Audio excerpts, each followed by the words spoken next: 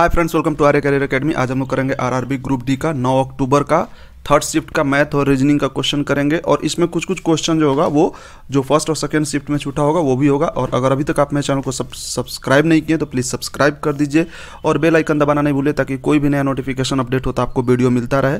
चलिए देखते हैं क्वेश्चन चालू करते हैं। तो देखिए, सबसे पहला हम लोग क्वेश्चन सबसे पहले रीजनिंग कर लेते हैं। देखिए क्वेश्चन है ओ का वैल्यू दिया हुआ था सोलह, ठीक है?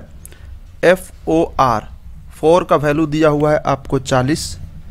तो हम लोग से पूछा गया था कि फ्रंट का वैल्यू क्या होगा? F R O N T front का वैल्यू क्या होगा? तो देखिए, सबसे पहले ओ का वैल्यू हम लोग जानते हैं, पंद्रह होता है। और यहाँ पर कितना दिया गया है? सोलह। इसके मतलब इसमें एक जोड़ दिया गया है तो सोलह हो गया। फोर का वैल्यू क्या होता है? देखिए एफ़ का वैल्यू सिक्स होता है ओ का वैल्यू क्या होता है? पंद्रह होता है और आर का वैल्यू क्या होता है? अट्ठारह होता है। इसको जोड़ेंगे तो पंद्रह पंद्रह, तीस तीस और तीन, तैंतीस और तैंतीस और सात थर्टी नाइन। थर्टी नाइन है, और इसमें एक जोड़ दिए तो कितना हो गया? ये हो गया फोर्टी। उसी तरह फ्रंट का भी लिखना होगा हम लोग को। तो फ्रंट का क्या होगा? ये निकालना था हम लोग को तो देखिए एफ़ का सिक्स हो गया आर का अठारह हो गया ओ का पंद्रह हो गया एन का चौदह हो गया, और टी का कितना हो गया? बीस हो गया। और इसको जोड़ेंगे तो कितना होगा? देखिए सेवेंटी थ्री हो जाएगा। कैसे? देख लीजिए, बीस, तीस, पच, पैंतीस पैंतीस, और चालीस, पच, पैंतालीस पैंतालीस और दस, पचपन पचपन, और तीन कितना हो गया? पचपन और आपको पचपन और आठ कितना हो गया? तिरसठ और दस तिहत्तर, ठीक है? तो सेवेंटी थ्री हो गया और सेवेंटी थ्री में हम लोग एक जोड़ देंगे तो ये क्या हो जाएगा? सेवेंटी फोर तो कहने का मतलब है कि ऐसा कुछ क्वेश्चन आ रहा है जो कि पहले आता था ए का वैल्यू जो डायरेक्ट होता था वो दे देता है। अब क्या कर रहा है कि उसमें कुछ प्लस माइनस करके दे रहा है। तो आप लोग क्या करना, हमेशा वैल्यू लिख लेना। पहले अगर सबका वैल्यू लिख लोगे ना तो आपको पता चल जाएगा। जोड़ लेना एक बार। अगर यहाँ पर अलग दिया हो तो ठीक है। अगर यहाँ पर सिक्सटीन दिया हुआ है तो जब, जैसे ही आप ओ का पंद्रह देखोगे तो एक जोड़ा हुआ था फिर आप फोर को जब थर्टी नाइन लिखोगे तो देखोगे फोर्टी दिया हो तो एक जोड़ लोगे। उसी तरह जब इसका जोड़ोगे तो सेवेंटी थ्री आएगा, एक जोड़ लोगे तो सेवेंटी फोर हो जाएगा। चलिए देखते हैं नेक्स्ट क्वेश्चन नेक्स्ट क्वेश्चन है, देखिए. क्वेश्चन है ऑड वन आउट करना है. Odd one out sixty four seventy two eighty four और वन ज़ीरो एट तो इसमें ऑड वन कौन सा है? तो एक, यहाँ पर दो तरीके से इसको ऑड वन आउट कर सकते हैं. एक, देखिए थ्री से ये डिविजिबल है. ये भी थ्री से डिविजिबल है और ये भी थ्री से डिविजिबल है.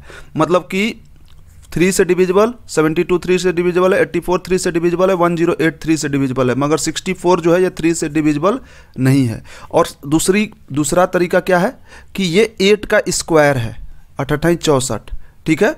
एट का स्क्वायर है और बाकी सब किसी का स्क्वायर नहीं है। तो ये भी एक तरीका है, या फिर थ्री से डिविजिबिलिटी था, बाकी तीन का seventy two eighty four one zero eight three से डिविजिबल है सिक्सटी फोर थ्री से डिविजिबल नहीं है। चलिए नेक्स्ट क्वेश्चन देख लेते हैं। नेक्स्ट क्वेश्चन है कॉपर ब्रोंज गोल्ड और सिल्वर इसमें से ऑड वन आउट करना है ऑड वन आउट तो इसमें से ऑड कौन सा होगा? ब्रोंज होगा। बाकी सब मेटल है ब्रोंज को छोड़ के।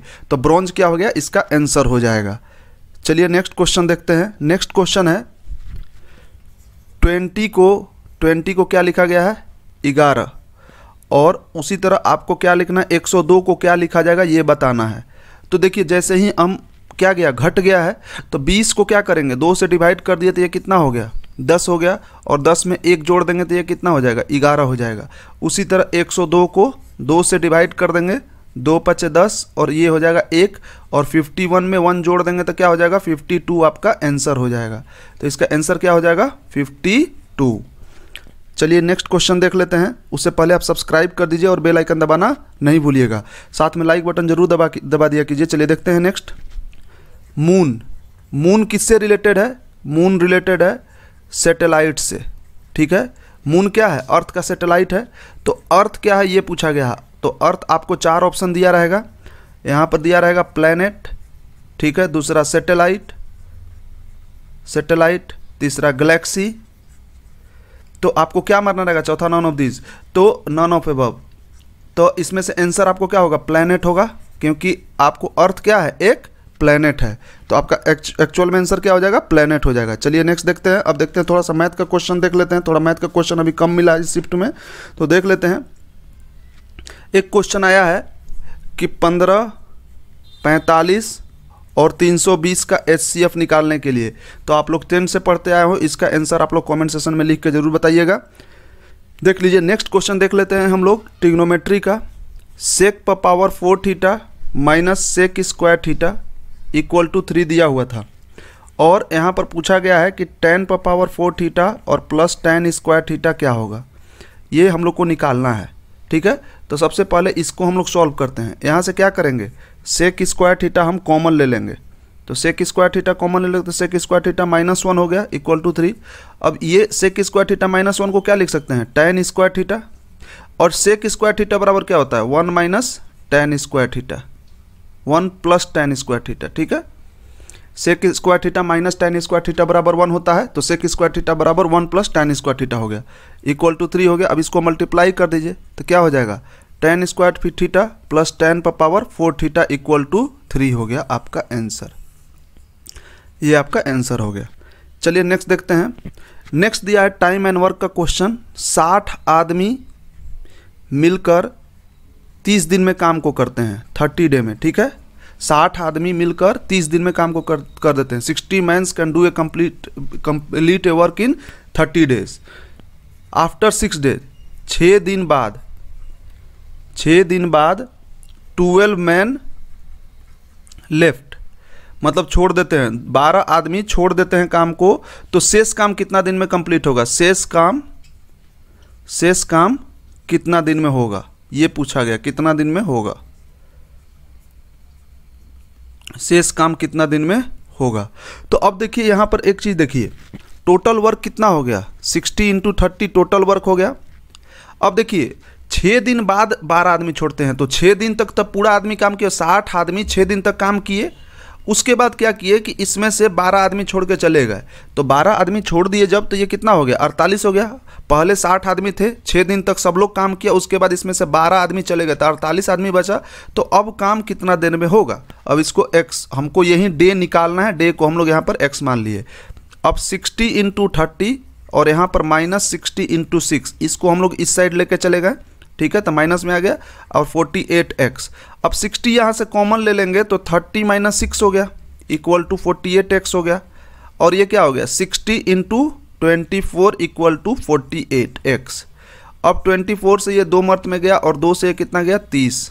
तो ये क्या हो गया? अब अड़तालीस आदमी तीस दिन में काम को कंप्लीट कर देंगे तो थर्टी इसका आंसर हो गया।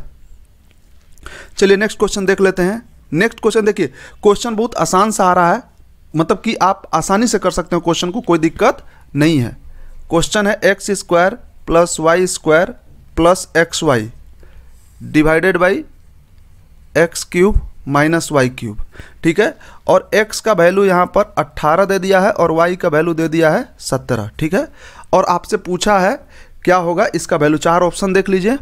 वन दूसरा ऑप्शन तीन, तीसरा ऑप्शन फाइव और फोर्थ होगा वन एट्टी तो अब देखिए, ऐसे क्वेश्चन को करने का सबसे बेहतरीन तरीका है, आपको कुछ नहीं करना है। X square plus y square plus x y और डिवाइडेड बाई देखिए x cube minus y cube है तो इसका फॉर्मूला होता है एक्स माइनस वाई और होता है x square plus y square plus x y ये कैंसिल हो गया, बचा क्या? One by x minus y अब यहाँ पर देखिए वन बाई एक्स का वैल्यू कितना है? अठारह और वाई का वैल्यू कितना है? सत्रह। तो ये क्या हो गया? One by one equal to one आपका आंसर हो गया।